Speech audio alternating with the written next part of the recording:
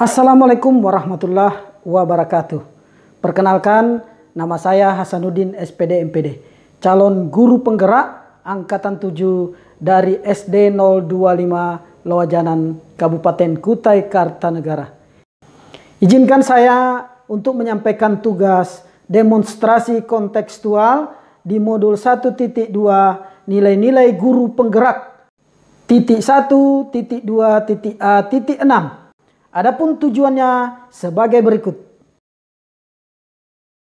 Sedangkan nilai-nilai guru penggerak adalah yang pertama berpihak pada murid, yang kedua mandiri, yang ketiga reflektif, kemudian yang keempat kolaboratif, dan yang kelima adalah inovatif.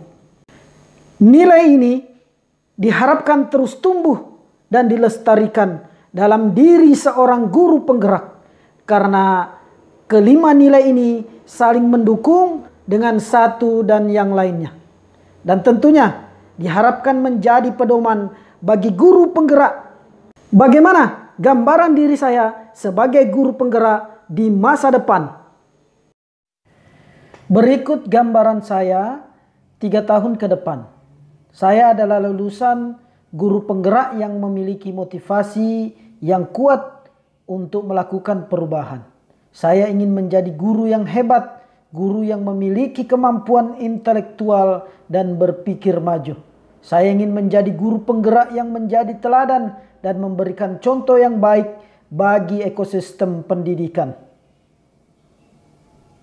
Nilai-nilai apa yang saya kuasai di masa depan? Satu, berpihak kepada murid. Sebagai seorang guru, saya lebih berperan sebagai fasilitator dan menjadi among dalam pembelajaran untuk murid. Saya bertugas menuntun murid agar menjadi pribadi yang tercetak sempurna sesuai dengan perkembangan zaman dan bakat minat murid. Pembelajaran yang berpusat pada murid serta penggunaan alat peraga untuk memudahkan memahami materi. Berikut kegiatan yang berpihak pada murid. Membuat suasana kelas yang menyenangkan, menyediakan berbagai sumber belajar pada murid, membuat dan merancang alat peraga bersama murid, bersama murid menyusun kesepakatan kelas. Dua, mandiri. Sebagai guru penggerak, saya harus memunculkan motivasi dan dorongan serta melakukan perubahan pada diri sendiri juga dalam proses pembelajaran sehingga mempunyai nilai kemandirian. Kegiatan-kegiatan mandiri yaitu mengikuti pelatihan-pelatihan atau workshop, bimtek secara offline atau luring eh, dan mengikuti pelatihan eh, seminar melalui online lewat Zoom atau Google Meet secara mandiri eh, atau secara pribadi maupun yang diadakan oleh dinas pendidikan. Selanjutnya yang ketiga yaitu reflektif. Sebagai guru penggerak, saya harus memaknai pengalaman yang sebelumnya dan yang terjadi di sekeliling saya, serta mempunyai pola pikir yang terbuka sehingga selalu melakukan evaluasi diri untuk meningkatkan diri dan murid serta teman sejawat saya. Adapun kegiatan reflektif yaitu di akhir pembelajaran bersama murid saya melakukan refleksi dan menarik kesimpulan tentang materi yang baru dibahas. Kemudian meminta pendapat kepada rekan sejawat dan kepala sekolah untuk perbaikan ke depannya.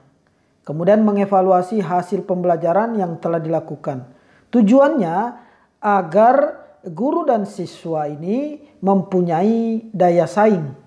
Yang keempat yaitu kolaboratif.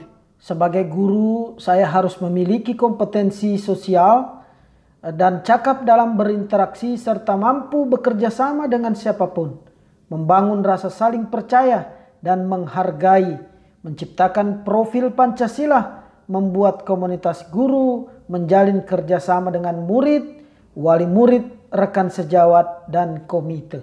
Kegiatan kolaboratif yaitu mengikuti kegiatan di kelompok kerja guru atau KKG dan merancang serta membuat alat peraga bersama murid. Yang terakhir yaitu lima Inovatif. Sebagai guru penggerak, saya akan selalu berinovasi merancang pembelajaran dengan menggunakan model pembelajaran berbasis proyek dan saya membuat gagasan-gagasan baru dalam dunia pendidikan dengan mengikuti perkembangan zaman. Adapun kegiatan yang sudah dan akan dilaksanakan secara berkelanjutan di dalam inovatif, yaitu mengajak siswa belajar di luar kelas untuk mengamati lingkungan sekolah yang berhubungan dengan materi ajar. Kemudian memanfaatkan media sosial YouTube untuk membuat media pembelajaran. Dan yang terakhir yaitu memanfaatkan IT sebagai sumber belajar. Demikian pemaparan dari saya. Kurang lebihnya mohon dimaafkan. Salam guru penggerak. Assalamualaikum warahmatullahi wabarakatuh.